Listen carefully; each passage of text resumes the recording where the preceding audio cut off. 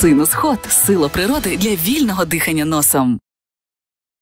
Про що Шольц говорив із Зеленським за зачиненими дверима? Чи передав якесь послання від Путіна? І чи справді Україна офіційно відмовилася від усіх гарантій безпеки, які є замінниками членства в НАТО?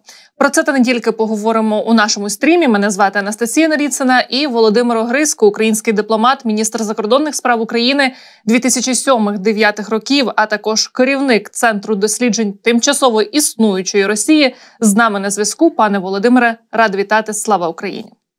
Героям слава вітаю вас. І радий так само вас бачити. І в черговий раз дякую вам за правильні формулювання відносно тимчасовості існування цієї недоімперії. Так що Настя, ви на правильному шляху. Дякую. Дякую щиро вам. А пане Володимире, ми показували щойно візит Шольца, і там в деяких кадрах він був дуже таким позитивним, посміхався, розмовляв із Зеленським. Потім давали прес-конференцію. Але я хочу вас загально запитати про цей візит канцлера Німеччини, бо це ймовірно останній його візит на цій посаді. А чому саме зараз? І от як би ви загалом його охарактеризували? Ну е, Настя, насправді відповідь дуже просто лежить на поверхні, тому що е, в Німеччині почалася передвиборча кампанія. Угу. Так, ще не оголошені вибори, хоча всі знають, що вони відбудуться 23 лютого. 16-го, наскільки якщо я не помиляюся, буде в Бундестазі проголосований вотом недовіри е, е, уряду Шольца. Він формально піде у відставку, буде продовжувати свою е, діяльність до е, сформування нового уряду, але всім зрозуміло, що все почалося. Ну і е, що робити е, кожному з політичних лідерів Німеччини? Їм треба якось відповідати на просте запитання: я з Україною чи я проти? Я підтримую Путіна, чи я підтримую демократію?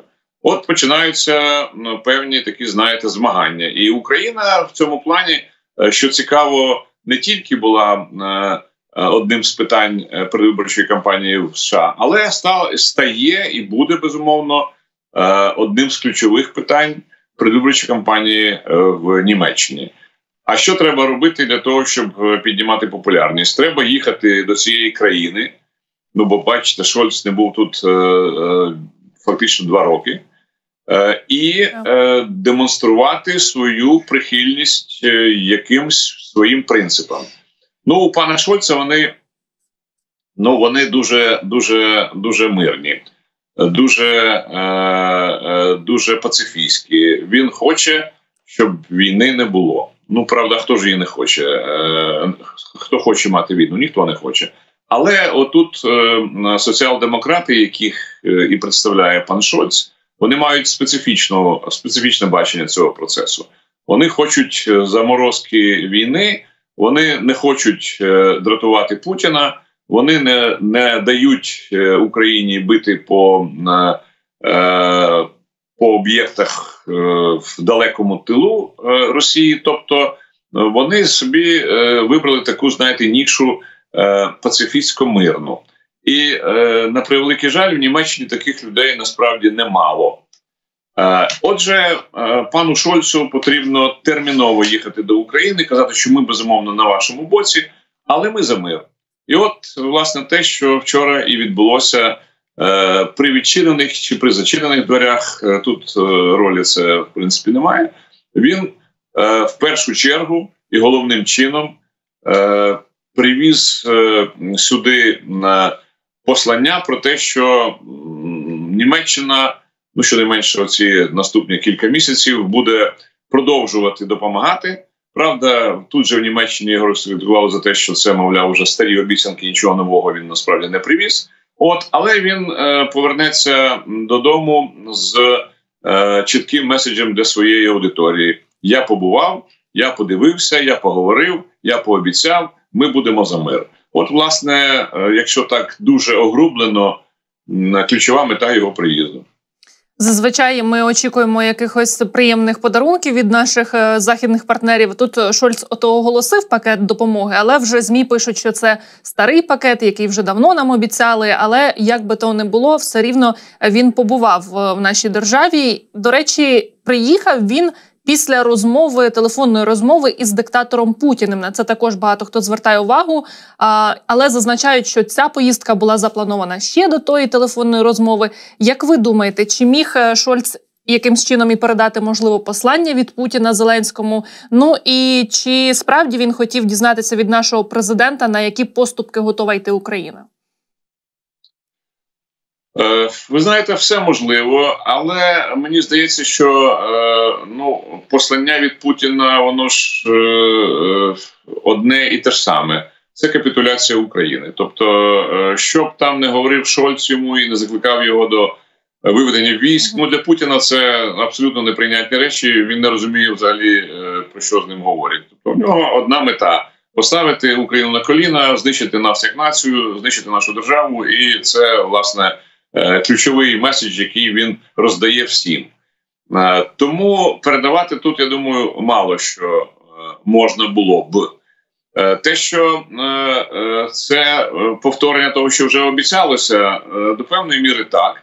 Але все-таки давайте будемо відвертими і чесними, давайте будемо справедливими. Німеччина дає дуже багато допомоги Україні, фактичної, фізичної, тобто, це все те, що нам реально потрібно. І якщо ну, ці обіцянки нарешті будуть виконані, то ми отримаємо ще кілька додаткових е, важливих для нас систем е, озброєння, ті ж самі е, IRIS-T, які використовуються для е, оборони наших об'єктів, і так далі. І так далі, це все те, що потрібно. От тому е, в даному випадку, е, ну я б був так би мовити, трошки більш збалансованим. З одного боку, нічого нового, з іншого боку. Е, ми повинні бути вдячними за те, що що ми отримуємо. Відносно е, е, того, чи повинні ми від чогось відмовлятися. Знаєте, я сьогодні з великим задоволенням е, прочитав новину про е, позицію е, МЗС України відносно е, гарантій нашої безпеки. -huh. дуже правильна, дуже своєчасна заява. Так, нам сьогодні і завтра ніхто не дасть запрошення до НАТО. Е, тому що продовжують боятися, тому що е, все ж таки розраховують на якісь там е, переговори між Україною і Росією з вигідних для України умовах, як вони кажуть. Але при цьому ну ці вигідні умови вони ж створюються, вони ж з неба не падають. Тому думаю, що тут ми зайняли правильну позицію доволі жорстку, доволі доволі критично. От що ми не візьмемо е, жодних е, на себе зобов'язань без реальних гарантій безпеки. Бо ми вже наїлися і Будапештським меморандумом, ми наїлися вже і е, е, мінськими е, псевдоугодами е, і отримали е, в підсумку повномасштабну війну. Тому е, думаю, що якихось е, надзвичайностей е, з собою Шольц додому не взяв. Хоча правда, президент, бачите, так натякає, що якісь якісь окуповані землі ми не зможемо зараз взяти силою, а це буде дипломатія. Ну я щось погано собі уявляю, яка дипломатія може бути з Російською Федерацією. Там дипломатія, ну це е, щось е, абсолютно для цивілізованого світу неприйнятне. Можливо, після смерті Путіна. Е, е, ну е, знаєте, це е, така собі гарна казочка, тому що Путіну зараз, якщо не помиляюся, 72. Е, Це не той вік, якщо його там будуть. Е, Е, підтримувати китайські знахарі е, і е, все те, що є ще і в Росії, то він цілком може тягну протягнути ще не один рік, а може навіть і десяток років. Ну, подивіться, Байдену зараз, по-моєму, 82, так? Угу. Трампу 78. Ну і що? Вони претен... ну, один претендував, другий претендував, один залишився, другий пішов. Ну і що? Тобто, е, це ще знаєте такий доволі довгий вік, і 10 років е, залишати українські землі під російським чоботом, під інформаційною окупацією. Ну так тоді, вибачте, хто ж там через 10 років захоче повертатися в Україну? Це питання доволі доволі складне, і його відтягати на такі роки. Ну мені здається, це просто стріляти собі кажуть, в ногу. Але ж Крим і частина Донеччини вони і так під окупацією вже понад 10 років. Але президент в своїх інтерв'ю заявляє, що Крим ми точно будемо повертати, в тому числі він наголошує, що дипломатією. Ну от я ж кажу, що е, повертати е, можна лише в тому випадку, коли в тому самому Криму е, наші сили оборони е, зроблять все те, щоб цей Крим з півострова для Росії став островом. Угу. І ми вже про це так само неодноразово говорили. Чому е, не можна спланувати разом з нашими західними партнерами е, повітряну операцію по Криму? Ну, чесно кажучи, я досі зрозуміти не можу. Ну я не є військовим, я не не, не беруся давати якихось оцінок і е, пропозицій. Але якщо е, в Криму є Е, там 4-5 десятків об'єктів, які треба знищити, і тим самим поставити російську армію в безвихідне становище. То чому не можна застосувати відповідні засоби, ті самі ракети, про які ми вже неодноразово говорили, які у нас, начебто, вже з'являються для того, щоб це зробити? От для мене це велика загадка. Пане Володимире, я процитую для наших глядачів заяву МЗС, про яку ми з вами говорили. Міністерство закордонних справ у день початку міністерської зустрічі НАТО, тобто сьогодні, оприлюднили офіційну а можливо, навіть ну я думаю, що офіційна це все таки позиція щодо можливих гарантій безпеки, які можуть розглядатися як інструмент спрямування а, стримування, перепрошую російської агресії. Цитую, ми переконані, що єдиною такою реальною гарантією безпеки для України, а також стримуючим фактором для подальшої агресії Росії проти України і інших держав, є лише повноправне членство України в НАТО, маючи за плечима гіркий досвід Будапештського меморандуму, ми не пристанемо на жодні альтернативи сурогати чи замінники повноправного членства України в НАТО, заявили у міністерстві закордонних справ. І ви згадували, що Зеленський почав говорити про а, дипломатію, про те, що нам можливо парасолька НАТО а, може знадобитися поки що лише над а, е, тією частиною території, яка під нашим контролем. Іншу частину будемо дипломатично відвоювати. А як на ваш погляд до такого варіанту поставляться члени Північно-Атлантичного альянсу, щоб де юре прийняти до НАТО всю частину території, але щоб п'ята стаття діяла тільки на тій, яка під контролем офіційного Києва. Ну, давайте Настя, подивимося на ситуацію е, так прагматично. Е, хто сьогодні є нашими великими друзями в НАТО в лапках друзями, звичайно, е, пан Орбан, пан Фіцо, правда? Чи можна очікувати, що ці двоє наших великих друзів захочуть е, отак просто е, без будь-яких проблем е, підняти руку і проголосувати за те, щоб Україну спочатку а запросили, б потім прийняли. Давайте задаємо Швецію, ну і частково Фінляндію, яких, вибачте, на слові мурижили більше ніж рік, півтора року, по-моєму, вони вступали до альянсу.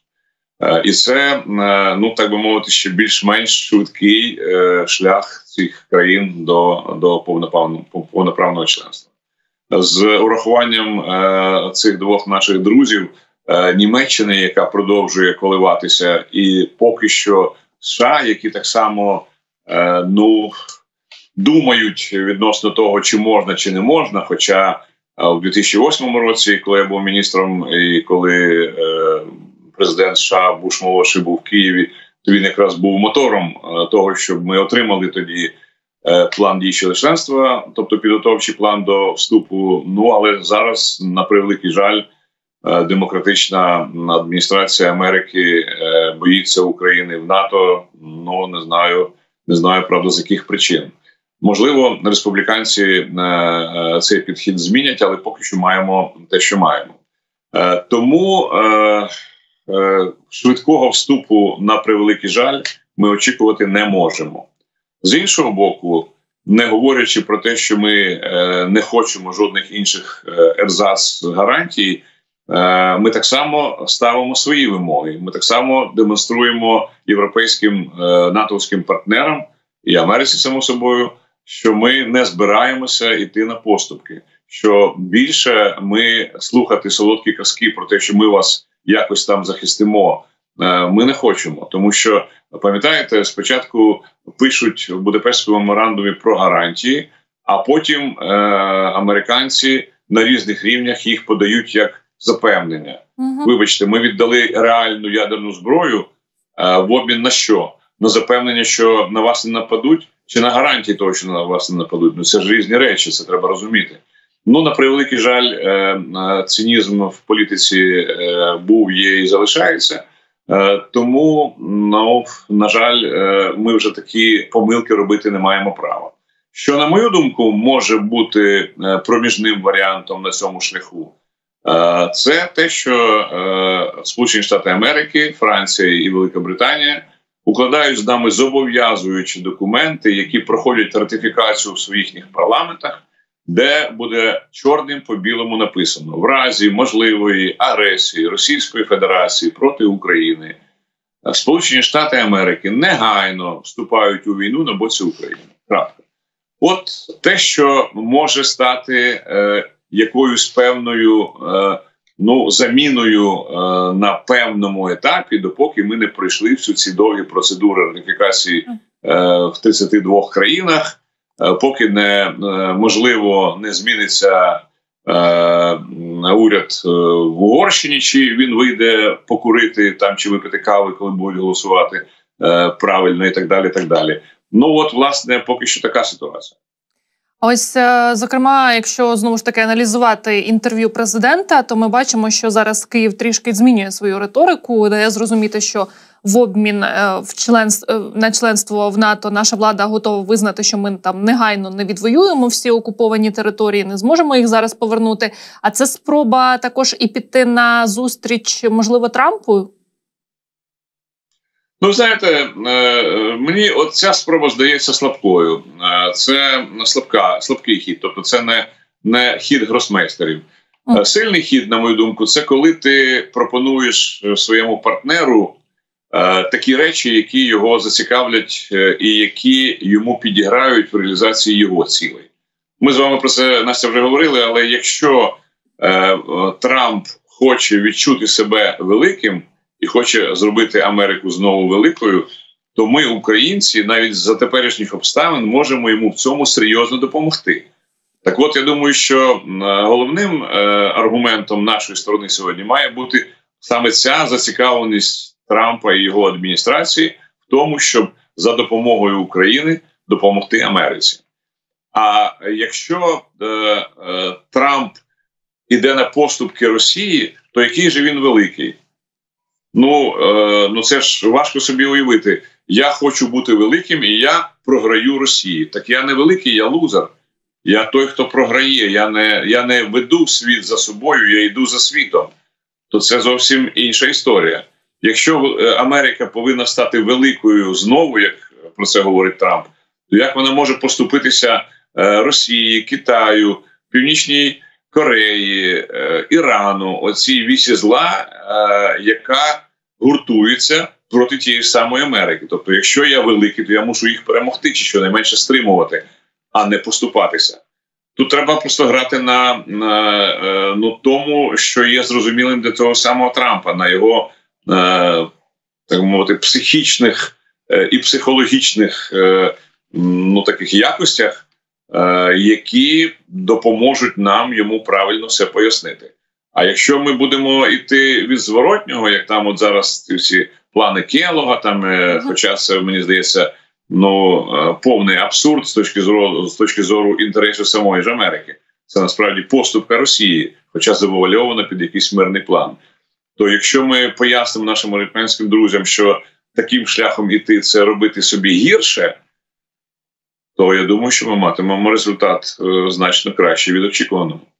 Знову ж таки, ви згадали про цей план Келога. Це новий спецпредставник по Україні. і Він там пропонує частково послабити санкції проти Росії в обмін на згоду припинити вогонь, заморозити лінію фронту і а, запровадити демілітаризовану так звану зону в Україні. А А як ви думаєте, сам цей спецпредставник? Наскільки він є ключовою фігурою, і чи буде до нього дослухатися Трамп? Ну він же ж його призначив саме для того, щоб врегулювати цю війну? Ну, знаєте, все одно, е, ким би він не призначив, кого б кого б він не призначав, все одно остаточне рішення за ним, за за Трампом. Звичайно, у нього є радники, звичайно, є люди, які формують е, чи можуть, скажімо так, впливати на формування його позиції. Але це той психотип, який ніколи е, не слухає е, нікого. Е, в розумінні того, що щоб йому нав'язали чиюсь думку. Він так чи інакше переварює її і робить свій висновок. Мені здається, що цей план Келога це просто спеціальний злив для того, щоб промацати реакцію, реакцію наших західних партнерів і безумовно реакцію України. І, от, до речі, е, ну прийшла інформація. Я я не, не знаю наскільки вона 100% відповідає дійсності. що Трамп збирається е, найближчим часом відвідати Париж, щоб подивитися на Нотр-Дам де Парі. Угу. Ну я звичайно розумію ступінь е, політичного, е, так би мовити, цинізму за цією фразою. Я не думаю, що головною метою Трампа приїхати помолитися в цьому соборі. А вона, мабуть, полягає в тому, що насправді йдеться про те, що він хоче. Е, поговорити з тими лідерами, які зберуться в Парижі з цією метою, і е, прозондувати, що вони думають, як вони ставляться до тих чи інших е, елементів цього можливого е, теоретично можливого плану. До речі, перший контакт з ну важливою фігурою, якою є генсек НАТО, вже відбувся. І дуже добре, що Рюте пояснив, ну наскільки це можна зробити цей висновок з його інформації, що він пояснив, що відступ Трампа від е, е, тих позицій, на яких сьогодні стоїть Америка. Це поразка Америки, і от саме е, наша мета повинна так само полягати в тому, щоб шукати собі таких Е, партнерів, як Рюте, як Борис Джонсон, як той же е, Макрон, і через них впливати на Трампа для того, щоб він зрозумів, щоб він чув просто з різних боків, не тільки від своїх радників якусь одну позицію, а щоб він чув від е, провідних політиків світу потрібну нам інформацію.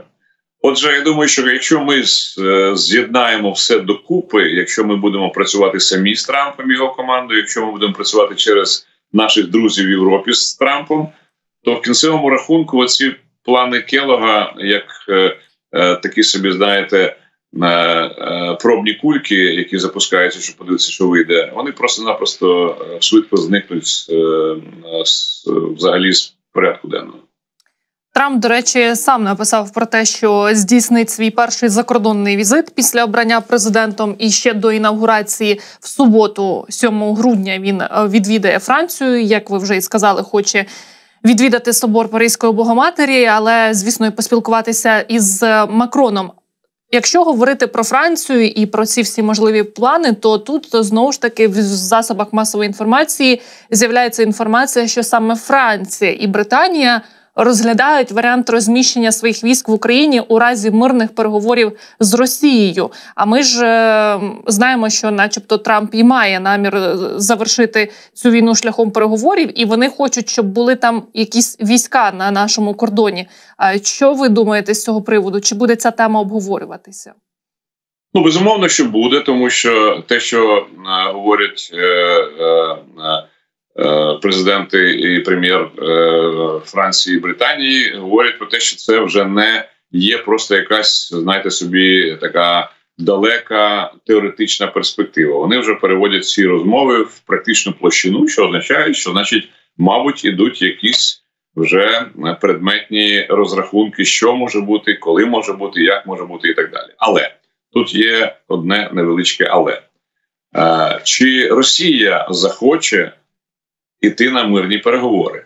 Так. Ну тут знову таки е, ми це намагаємося аналізувати і бачимо дві тенденції. Перша тенденція коли радикали кричать ніяких переговорів, це те, що нам жодним чином не підходить. І е, обережна позиція, яку починають зараз спускати е, з Кремля до е, оцих керованих пропагандистських каналів, про те, що треба готувати громадську думку до того, що і замороження конфлікту це є велика перемога, що е, ну от Новоросія наша, що денацифікація відбулася, що демілітаризація насправді відбулася. Ну тобто е, е, чергова хвиля промивання неокрепших мозгов народонаселення має відбутися з тим, щоб подати це як тріумф, як велич, як чергове світове завоювання Путіна і так далі. І так далі.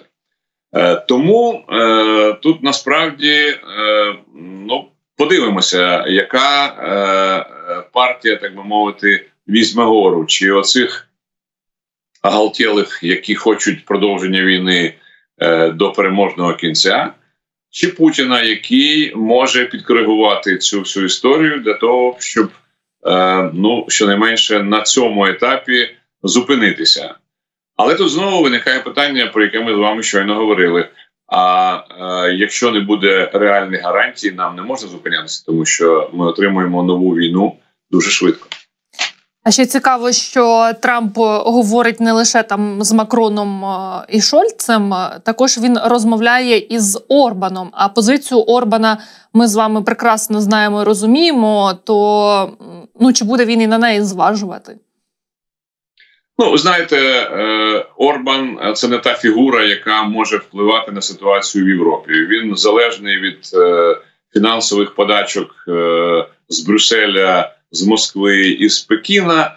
Ну тому е, його думка е, не може бути визначальною. Звичайно, що е, Трамп може з ним поспілкуватися, от його послухати. Хоча правда він уже все знає, тому що Орбан уже ж літав е, до нього ще під час передвиборчої кампанії так. і розказував йому про про свої е, можливості. Е, тому що тому, тому думаю, що тут особливих новацій нам чекати не можна. Хіба що Трамп захоче використати Орбана як е, ну почтальона Печкіна, е, щоб е, він літав до Москви і передавав Путіну якісь його особисті послання в контексті цих можливих майбутніх якихось контактів для того, щоб припиняти війну, і не більше самостійної ролі Орбан. Е, ну грати е, просто за, за визначенням не може. Пане Володимире, також е, звісно не можу з вами не обговорити події в Грузії. Там вже декілька днів вирують масові протести, спрямовані проти замороження переговорів про вступ країни до ЄС до 28-го року, про яке оголосив глава уряду Кобахіце. Ну і звісно, проти фальсифікації виборів. Ми бачимо, що проти протестувальників застосовують і водомети, і гумові кулі. і Десятки людей заарештували і, і били. Ну тобто, відбувається. Щось нагадує те, що відбувалося і в Україні. А на тлі ось цих народних протестів почали подавати у відставку грузинські дипломати. До критики дій парламенту приєдналася і певна частина великого бізнесу. А на вашу думку, чи зможуть протестувальники все ж таки перемогти е, проросійську владу, аби не опинитися в рускому мірі, про який мріє, мабуть, їхній уряд? Ну, не так уряд, знаєте, як е, такий там е, пан Іванішвілі, е, е, мільярдер, е, який ну фактично е, управляє Грузією, хоча формально не є ні ні, ні президентом, ні прем'єром, е, але маючи, ну от мені мої грузинські друзі казали, десь 6-7 мільярдів доларів може реально управляти цією невеликою країною. Е, що він власне і робить? А чому він так робить? А тому, що він висить на гачку в Москві вже дуже дуже давно. От е, вся е, банальна, примітивна, як кажуть, історія. Чи зможуть протестувальники перемогти? Ну, в тому випадку, якщо вони піднімуть е, середній клас, який поки що так ну дивиться на і наліво, і направо, і думає, чи не перечекати оцю всю складну ситуацію, тому що знову ж таки, давайте будемо реалістами. Іванішвілі вдалося підкупом, е, спеціальними формами впливу на цей самий бізнес, е, дати йому можливість е, трошки розвиватися.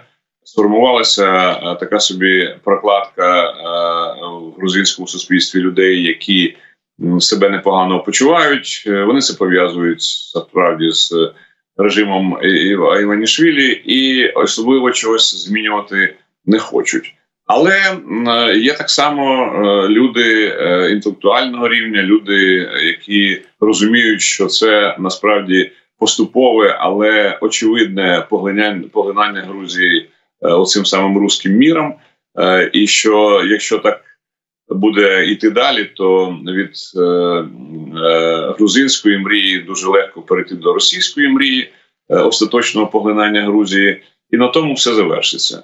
Тому, якщо е, протестувальники ще е, протримуються на ну, хоча б е, тиждень, два-три, і якщо влада відчує, що е, е, люди справді широкі народні маси, як колись сказали, е, підтримують е, цей протест, то тоді шанси є. Якщо е, все зараз піде на спад, то боюсь, що е, ситуація буде саме такою, якою собі малюється Іванішвілі, щоб це була просто провінція Російської Федерації, але е, ну поки що, начебто, з національним прапором, гімном і, начебто, державністю. Хоча ми розуміємо, що так довго тривати не буде. Пане Володимире, я щиро вам дякую за інформацію за те, що ви долучилися до ефіру. Бажаю гарного і спокійного дня. І нагадаю, що Володимир Огриско, український дипломат, міністр закордонних справ України 2007-2009 років, був з нами на зв'язку. Вас, друзі, я прошу поставити свої вподобайки. Напишіть обов'язково коментар, свої думки з того чи іншого приводу, і також вказуйте. Із якого міста ви нас дивитеся? Усім дякую за увагу. Хороших новин. Бережіть себе і до зустрічі.